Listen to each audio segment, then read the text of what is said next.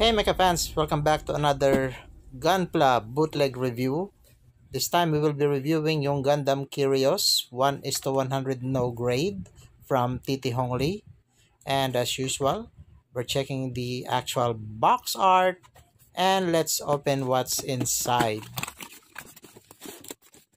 Label na po siya ng Fighter 00-3 from the Gundam 00.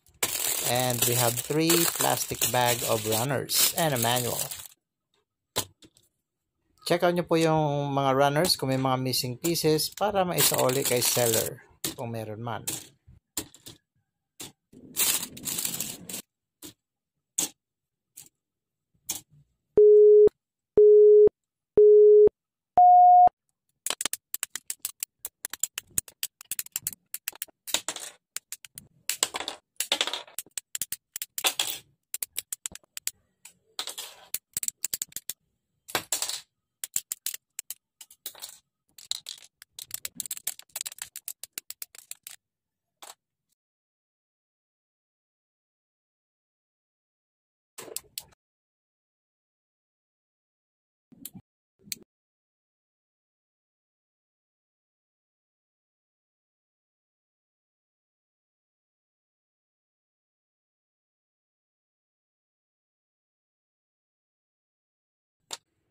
May mga parts po na medyo skip so kailangan po natin gamitin ng mga tools like files para magkasya yung peg sa peg hole.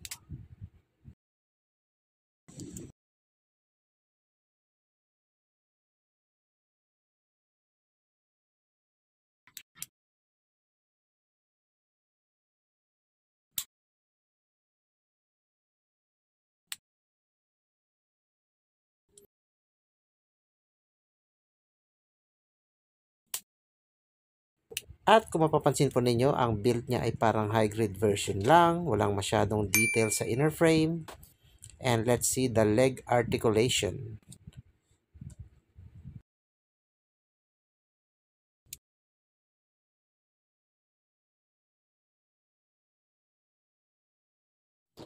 Dapat itong part na to ay clear green pero since kopya lang din sa Bandai, uh, we will just paint it later on.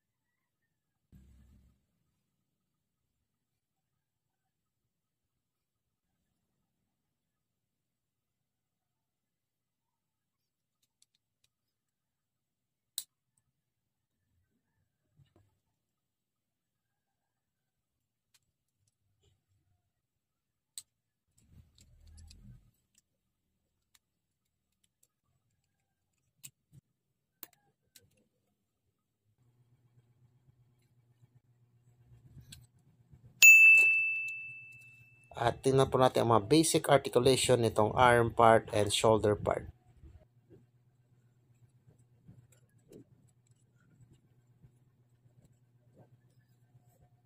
At tulad po sa nabanggit, tinuturahan po natin itong clear patch ng Bosni 04 Yamaha Green. Instead of sticker, let's use a marker here. Then apply the clear green part.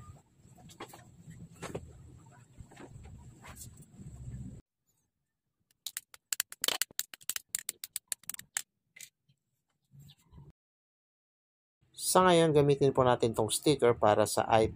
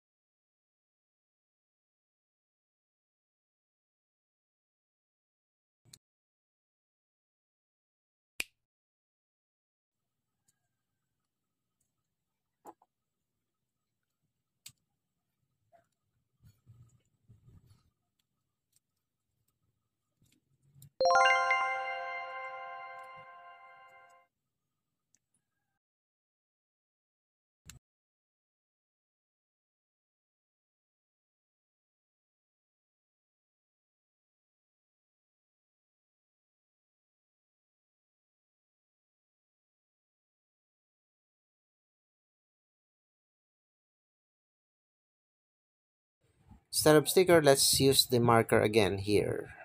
Medyo kailangan bawasan yung peg para magkasya sa peg hole and then file yung peg hole as well para magkasya siya.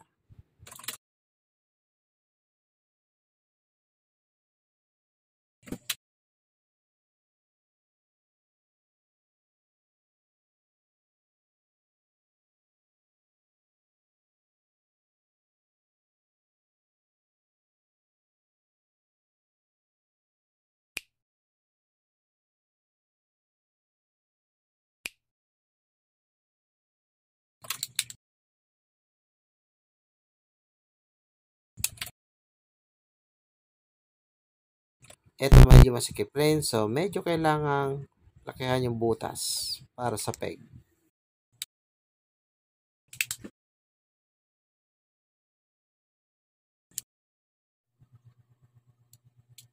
Medyo lusto sa aking kopya, so just be aware.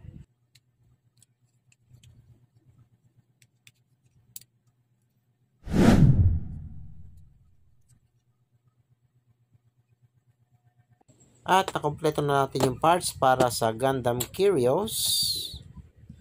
And let's start building yung mga accessories.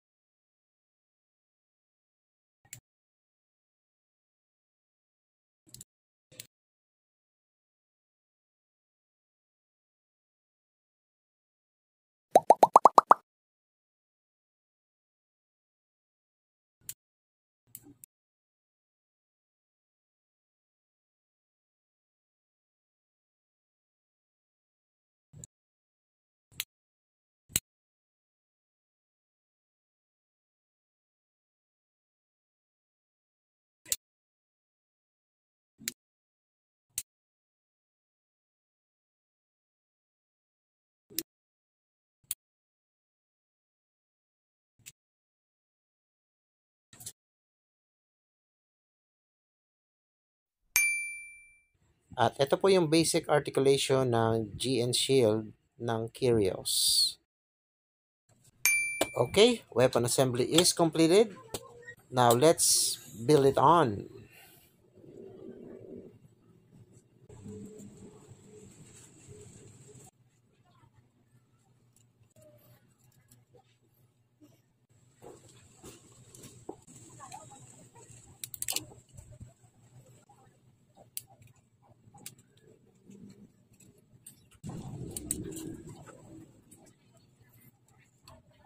Alright, Curious Gundam is complete. Medyo kailangan lang dagdagan ng mga panel lines para sa additional details.